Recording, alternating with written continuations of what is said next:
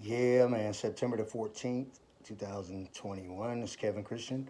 And I wanted to talk about EMF broadcast and some of the benefits that you could have from broadcast. Some of the things, some of the advantages that people with access to neural monitoring that are able to broadcast may have over the general population. So, um, first of all, EMF broadcast that means um, you have access to neural monitoring. You could wear a mind control headset and connect to and live as a broadcast. And in your mind, you will see the view and basically be able to really live as a broadcast. And a broadcast obviously can defy the laws of um, physics as pertaining to like a human standard. So, you know, you can't walk through a wall, all right? Um, but a broadcast can. So, uh, police can can uh, use it for surveillance, or anybody can use it for surveillance. You would know uh, what's the hostage situation, or you would know uh, where's the problem in the oil rig fire. You know, but send in a broadcast. You know, you know, like on Star Wars, it's like send in a droid, send in a broadcast. Right, right. So you might have like what an oil leak on your car send in a broadcast. What what if the mechanic said, uh, all right, give me just a minute. He went back in his office and like put on his headset, you know, live as a broadcaster. I'm gonna go go check out your uh, engine and see. Oh, okay, I see where it's leaking from. You know, and then reemerge as a human and uh, pretend to, you know, oh yeah, yeah, I, I can see it just clearly with this mirror or whatever. Like, you know, some actor stuff.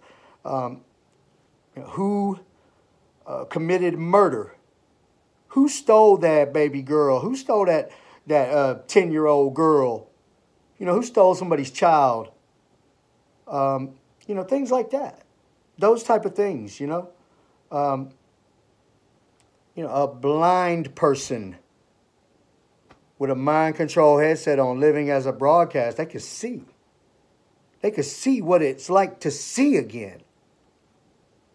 When they're blind and they can't see at all, they can live as a broadcast, and that's emitted into their mind, bypassing the eyes. They don't need the eyes to see. They could live as a broadcast and see. These are just some of the things that are possible with this technology.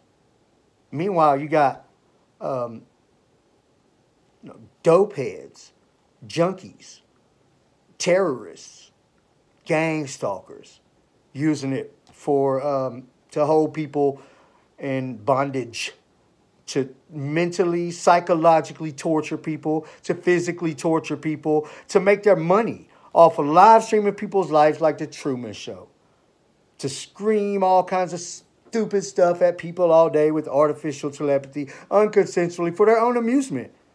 These idiots using this technology for terrorism, slavery, that's what we're using this technology for. We're using it for slavery. We're letting the trashiest people get away with whatever they want to using this technology, attacking good people.